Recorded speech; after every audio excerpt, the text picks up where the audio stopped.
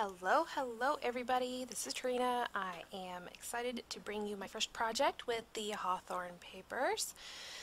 So, um, I did kind of like, I kind of pre-played with the papers before I actually came up with something that I liked and but I'm going to go ahead and show you my process for this card that I came up with. So um, it does start out with card, uh, the Kraft cardstock and uh, or at least I think that's where I'm going to start. So I'm showing you the papers that I'm going to use and the that I'm going to be using some die cuts or some dies from and all these are from close to my heart. Um,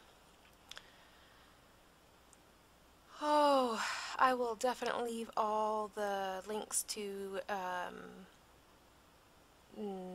the uh, products below. So I decided that I wanted to go ahead and um, I really should have showed you this at the beginning. Um, but I didn't want to show you my final card. I kind of went back and um, I don't know uh, what am I trying to say? I was inspired by page 31 of the Close to My Heart um, uh, core catalog. And it's the, um, for this year. So, um, for those of you who don't know, which I will show you at the very end, I will show, come back and show you because I totally forgot to mention it, um, which was my intention to mention it, but that just didn't happen, so here we are. Um, anyways, so, uh, yeah, I was, it's a, page 31 has a, um, a card that kind of has the stacked uh, papers, uh, pattern papers, um, like this, where they just, you know, you have a small amount of space there and in between each color. And so that's kind of what I, what I took from that card for inspiration for this card. So um, I decided that I wanted to do the word thanks, but eh, there I tried a couple of different papers, you know, previously on my on my play card, and I didn't like any of them. And then I was like, well, I wonder if I use the ink that you know I want to use on this card and just kind of make it look distressed. And I was like, well, that works perfect for that particular card because that particular card is kind of like a vintagey, not really vintage, just you know, um, more warm uh, warm, uh, I want to say hearty, but hardy's not the right word. Um, strong and warm, I guess, are the two words I would describe it. Um, anyways, so that's kind of where I'm, you know, at, what I'm doing, where I'm going. And so I just decided to um, use the So Very Much from the From the Heart um, stamp set from Close to My Heart that I do not believe that's uh, offered any longer, um, but uh, if you have it, then you could definitely use it. If not, you could definitely use um, whatever you have. You know, that's kind of where I'm at. I'm using new product and I'm using not new product, like the tag itself is made out of a scrap of um, uh, Colonial White cardstock, which is no longer offered um, through Close to My Heart. So, you know, um, I just, I want to use what I have, but I also kind of, you know, want to show you that even if you purchase things like this, this is the bronze twine here, if you purchase things and it goes out, it retires or whatever, you can still use it. And I use it all the time, like this, for instance think I probably should have cut some of this out. it This little string here gets away with me. So it is originally bronze. It's got a bronze um, like metallic line in it and then it's got uh, white. And I don't want my string white, or my twine white for this card. So I decided to um, make it, uh, what did I decide on? Espresso and so I, as you can see I'm just turning it espresso. So I'm just making sure it's dry. And I definitely didn't want you guys to hear the you know the heat gun and all that because it's nice and loud. And I'm just kind of testing it now just to see if it's dry all the way through. And of course it's not. So I go through and I you know of course, spend another minute or so drying it. So um, that is something that you can do though with the twine because it is it is cotton, so you can definitely dye it whatever uh, color you need, um, which I love. I love that part. So um, I'm gonna do the tag there, and I don't really want it tight. I just kind of want it, you know, to sit there. And there's my thanks. And even though I already had this card made, well, practically made, I didn't have it fully made, but I did have it partially made. Um, as far as the idea of it, it still took me an hour and something to put it together, which is hilarious. I don't know exactly. I think it was the coloring because I'm using markers again, and I always take a long time to color. I think almost everybody does, but yeah. So this is the Every Little Thing vellum shapes, I want to say. But they are butterflies. They are definitely a sheet of butterflies, flowers, and leaves. And um, so the vellum itself is like it has a white base where the the vellum itself is a clear white color and I didn't want my butterflies to have a white base because this is not a vibrant bright card it's it's a warm and I don't know it's just a warm card. It's not vibrant and bright. And so um, I wanted to make sure that the my basis for my um, butterflies were more of a, you know, off-white, you know, what is it called? Gold brown tone. so um, I am using the Spectrum Noir Tri-Blend marker from Close to My Heart and um, it's actually from close from Spectrum Noir, but Close to My Heart is now carrying them in I think I think 20 whoa 24 different colors. Um, wait a minute, something like that. I can't remember. Anyways, I will leave the link to those to, to my website that has these um, in the description box below. So this one is these colors that I'm using now um, are the gold brown, um, let's see, 1, 3, and 5. And then I will go over uh, some things in the dark red. Uh, let's see, dark red, uh, 1, 3, and 4. So I'm kind of going over, and I want these darker so I want to, you know, give them a bit more layers and that will bring out the dark. Now, the the alcohol markers don't blend all that well. Like they don't really blend all that well. To be honest, they don't. But, I mean, like on vellum, they don't. But, um, and it, it my things do end up kind of liney, which kind of sucks. But at the same time, you know, they actually turn out really nice. So, I, you know, it's it's kind of one of those things. I don't have a blender, so.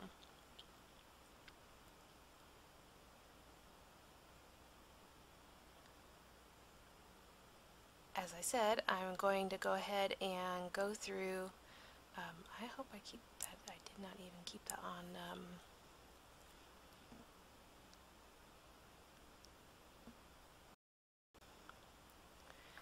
in the frame. I do kind of go in and out of frame because I'm so close, but see, there's DR4. And here I'm just kind of doing a little bit of a highlight. Now, because I have the gold brown down underneath of it, it kind of gives it a, instead of a white base, it gives it a, like a gold brown base.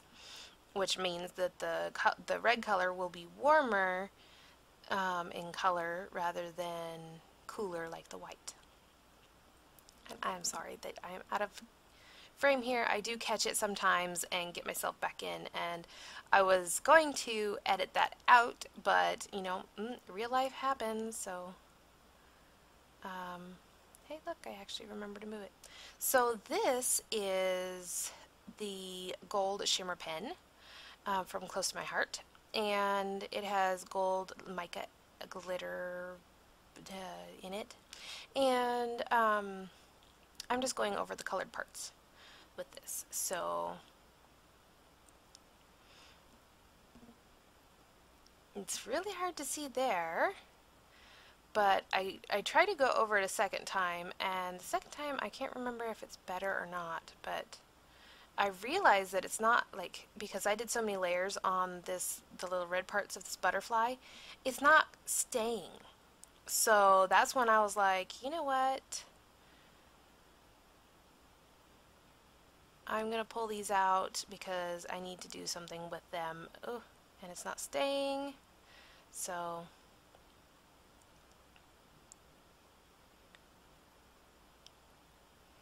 and I did kind of um, cut the accidentally ripped the edge of the butterfly so I just kind of glued it back together which you can't barely tell which I love so these, I cut, trimmed these because I only needed the uh, top three leaves of the sprig. And I'm trying to figure out what I'm going to do for keeping that on there, so I decide to use some hairspray. Um, it's kind of a trick that you can do. Ooh, I'm not sure what I did. I must have bumped the camera or something.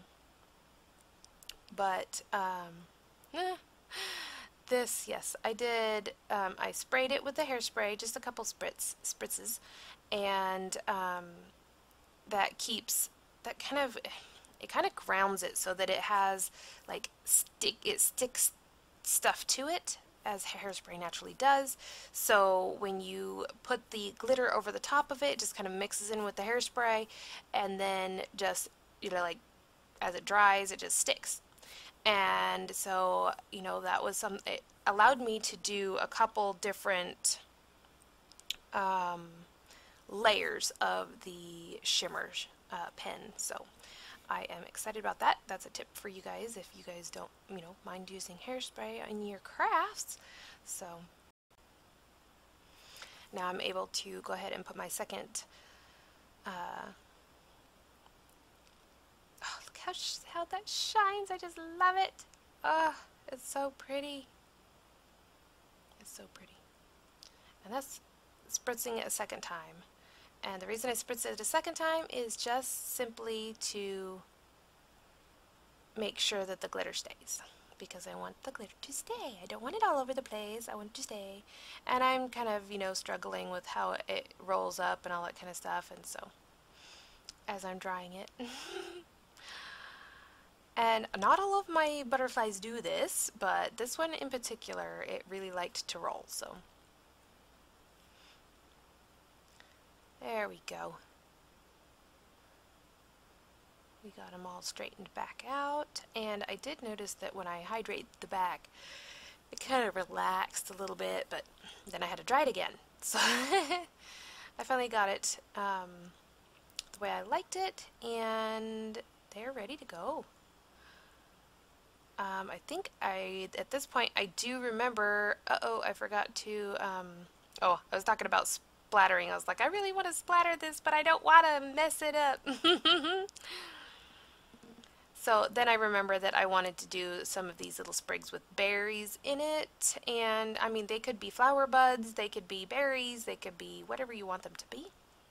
Uh, again, I'm going to go over it in the darkest, um, GB5 color. Um, and then I'm going over it with the darkest uh, dark red, which is DR4. And this way I can uh, make sure, you know, it brings out the same color red that's in the butterfly at the top. So. This time I'm just holding it down and heating it up, and I was like, where did it go? And it was on my lap. it was flying, so now I'm going to go in with the same process, the same process. Two of the gold brown GB5, two of the dark red blend uh, DR4, and then the two of the um, the gold, and then the hairspray.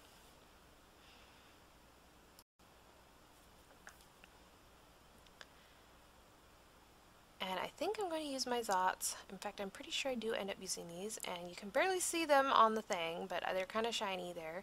And the reason I choose those is because I want a see-through, um, a see-through, what do I say? See-through adhesive so that it doesn't show up through the, um, through the vellum.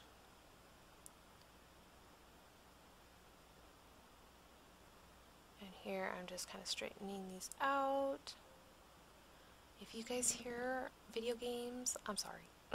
the TV's right on the other side of the wall from where I'm sitting, and I do have my door shut um, in my room, but it's still it, the TV's the speakers are like on the back side of the TV, which does not make any sense whatsoever. But I guess to save space, that's where they put them. But so, anyways, I'm trying to figure out exactly where I want. Oh, that would have looked cute down there, actually. Um, yeah, just putting the berries where I want them to be and you know just kind of adding it in there and there it is. Now I'm debating whether I want to put sprinkles or sparkles, bitty sparkles on there or not because I really love bitty sparkles and it's it feels like empty down um, like it has empty space above the thanks and it has empty space down around the butterfly and here we go. I was like all done and then I'm like I really needed to put something there, so I pulled them out, and um, now I'm going to take like six minutes to figure out exactly what I want to do here. Um, why, that's cute. I just keep adding and adding and adding, because, you know, that's how I do. So anyways, so this is coming to the end of my video. I hope you guys enjoyed this process. Um, here in a second it will show you that um, you know the the card that inspired me um, to make this uh, kind of I don't know if it's I mean it doesn't really it's it, what do I want to say it doesn't look at all the same that is for sure and so I'm going to try to find it here on my phone because that's where my PDF of my catalogs are. Um, I gave my last catalog to a customer because it's the only ones I had in on hand, and you know, that's what you do. You make your customers happy, right? Um, but yes, so this is. Oh, come on. I can find it. Anyways, so I do, I knew it was page 31, and I was like, wait a minute, maybe it's on this one. And I looked around, and this is the second, the supplemental catalog, and it's not, so. And I just won't give up. I, I have to find it, so. I do find it in the end. I do. It's in the Core Caddy, page 71. However, when you do a PDF uh, form and you search for page 31, it takes you, it includes like the catalog or the catalog cover and the, you know, the first couple of, you know, non-numbered pages. And anyways, so this is the uh, page, page 31, Core Caddy, if you're interested. And um, it actually is for Paper Pals. I didn't want, I don't have Paper Pals, and but the uh, the uh, card inspired me the I like the um, the you know the several layer layers on the back. It just really you know kind of spoke to me, and I was like, well, you know, I can imagine that. So let's let's create it. So this is the card that helped me create uh, or inspired me to create the one that I just created for you today. So if you guys um, like this video, give me a thumbs up and like and subscribe you want to, I'd love to have you. Um, check check out my uh, website, um, my Close to My Heart website. It's hellotarina.closetomyheart.com. And um, you can also visit me on social media. I have an Instagram and a Facebook page, which are both at Hello Tarina. And would be it. I again, all the links will be in the description box below, and I hope you guys stay tuned for my next card. Thanks for watching.